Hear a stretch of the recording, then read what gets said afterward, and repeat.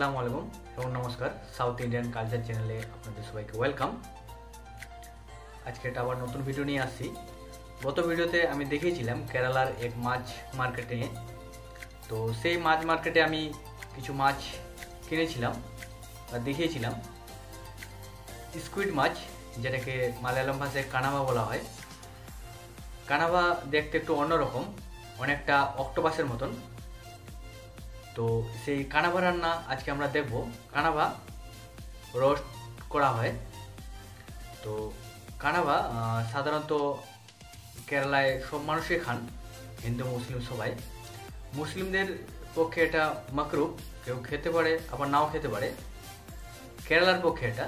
আমাদের পশ্চিমবঙ্গে কি সেটা আমি জানি না, কারণ পশ্চিমবঙ্গে আমি এই মাছ দেখিনি। তো আজকে কানাভা কীভাবে কাটে বা কীভাবে রান্না করে আমি পুরোটাই দেখাবো। ভিডিওটা শেষ পর্যন্ত দেখবেন। আর হ্যাঁ কানাভার খেতে টেস্ট অনেকটা গরু, খাসি নাড়ি বুড়ির মতো বা বটি, যেটাকে বটি বলা হয় বাংলা ভাষায়। তো অনেকটা ওই টাইপের মতো। তো মালায়ালামের সব থেকে ফেভারেট মানে পছন্দ, এমন কোনো মালায়ালি নাই যে সেটাকে খান না। তাহলে চলুন সেই ভিডিও দেখি। আপনারা শেষ পর্যন্ত থাকবেন। আর হ্যাঁ গত ভিডিওয়ে আমার সেই মাছ কেনার পুরো ভিডিও আছে। আপনি যদি না দেখেন, তাহলে আমি ডেসক্রিপশনে সেই ভিডিওর লিঙ্ক দিয়ে রেখেছি। আপনি দেখে নিতে পারেন। আর আপনি যদি আমার চ্যানেলে প্রথম হন, তাহলে সাবস্ক্রাইব অ্যান্ড বেল আইকনে ক্লিক করে দেবেন। আর প্রত্যেকটা ভিডিওতে লাইক করবেন।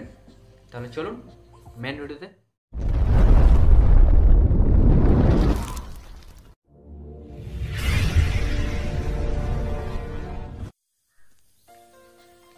স্কুইড মাছ, যেটা মালায়ালাম ভাষায় কানাভা বলা হয়।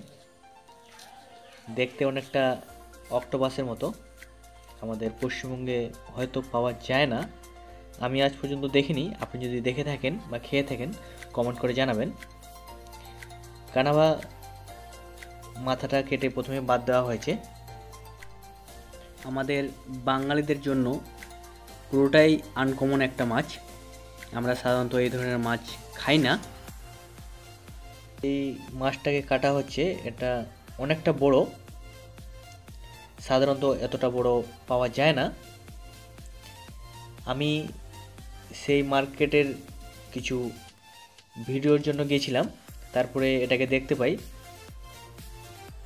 শুধুমাত্র আপনাদেরকে দেখানোর জন্য আমার এই মাছটা নেওয়া। এই মাছের ওপরে, ওপরের অংশে এটা থাকে। পুরোটাই প্লাস্টিকের মতো, খুব শক্ত।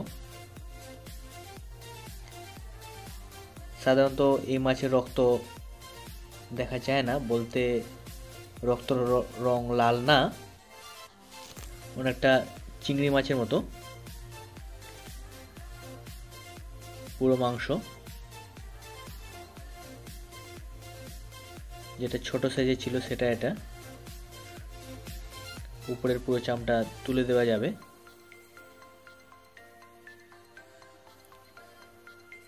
কারণ দুইটা দুই রকমের ছিল। ওটা একটু আলাদা, এটা একটু আলাদা। এর ভিতরেও একটা সাদা অংশের সাদা রঙের প্লাস্টিক। পুরোটাই প্লাস্টিক। কি আজব জীব। সাধারণত জীবের বৈশিষ্ট্য, রক্ত, মাংস এবং হাড়। কিন্তু এর রক্তও নাই, হাড়ও নাই। প্লাস্টিকের মতো একটা পেপার। এই স্কুইড মাছকে নাড়ি ভুড়ি বাদ দিয়ে শুধু মাংসগুলো সুন্দর করে পিস করে নেওয়া হচ্ছে। মালয়ালিদের সব থেকে পছন্দের ডিশ এটা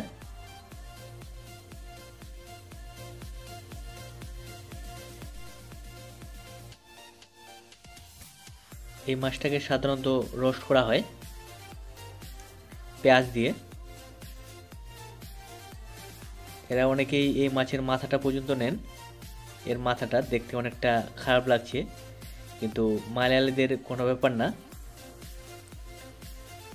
ওনারা সবাই খান। আমাদের হয়তো খারাপ লাগতে পারে।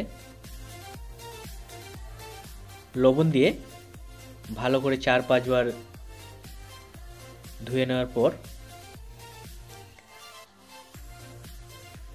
সেটাকে কুকারে, প্রেসার কুকারে হলুদ আর লবণ দিয়ে ভালোভাবে সেদ্ধ করে নেওয়া হবে। কোনো জল না দিয়ে সেদ্ধ করতে প্রায় পঁচিশ থেকে তিরিশ মিনিট লাগবে। হলুদ, লবণ ভালো করে মেখে পঁচিশ মিনিটের জন্য সেদ্ধ করতে দেওয়া হলো। তার মধ্যে দেখে নেব বাকি উপকরণগুলো। পেঁয়াজ, রসুন এবং আদা। রসুন এবং আদাকে আদা বাটা করে নিতে হবে। পুরোটাই পেস্ট করতে হবে না। এখানে আছে টমেটো, কাঁচা লঙ্কা এবং কারি পাতা। প্রায় সেদ্ধ হয়ে গেছে। প্রেসার কুকারের স্টিমগুলো বের করে দিয়ে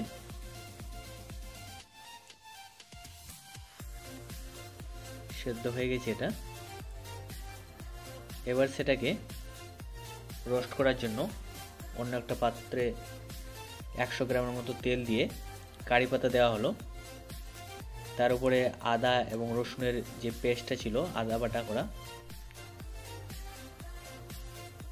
এবার সেই টমেটো, কাঁচা লঙ্কা দেওয়া হলো। এটাকে ভালো করে একটু নেড়ে চুড়ে মানে লাল হওয়া অবধি।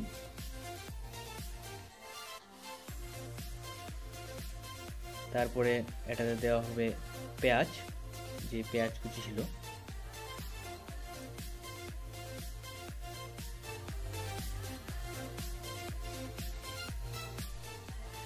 এবার দেওয়া হলো পরিমাণ মতো লবণ। লবণ দিয়ে প্রায় দশ থেকে পনেরো মিনিটের জন্য রেখে দেওয়া হলো। বারবার দেখা হচ্ছে যে কতটা পেঁয়াজগুলো সেদ্ধ হয়েছে, কারণ সেই কানাভা মানে স্কুইড মাছটা আমাদের সেদ্ধ করা আছে। রোস্ট করার জন্য শুধুমাত্র যেটুকু লাগে। এরপরে দেওয়া হচ্ছে হলুদ, গোলমরিচের গুঁড়ো, শুকনো লঙ্কার গুঁড়ো। মেথির গুঁড়ো দিয়ে পেঁয়াজগুলোকে ভালোভাবে ভেজে নিতে হবে। তার উপরে যে সেদ্ধ করা মাছটা ছিল সেটা দিয়ে ভালোভাবে মেখে নিতে হবে।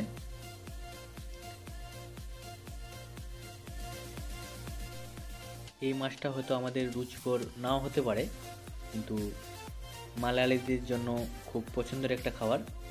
এরপরে দেওয়া হচ্ছে ধনে গুঁড়ো এবং গরম মশলা দিয়ে ভালোভাবে মিক্স করে নেওয়ার পর, উপরে কিছু কারি পাতা ছিটিয়ে দেওয়ার পর দশ থেকে পনেরো মিনিট রাখলেই আজকে আমাদের এই রেসিপির কাজ প্রায় শেষ। দক্ষিণ ভারতের প্রত্যেকটা মানুষই এই মাছকে খুব পছন্দ করেন। পশ্চিমবঙ্গের মানুষ এই মাছটাকে অতটা পছন্দ করে না। দেখলেই অনেকটা খারাপ লাগে আমাদেরকে। সাধারণত কেরালার মানুষ নদী বা পুকুরের মাছ খান না। সেটাকে নোংরা মাছ হিসাবে এনারা চোখে দেখেন, সমুদ্রের মাছকে এনারা পরিষ্কার মাছ বলে ভেবে থাকেন এবং কি খান।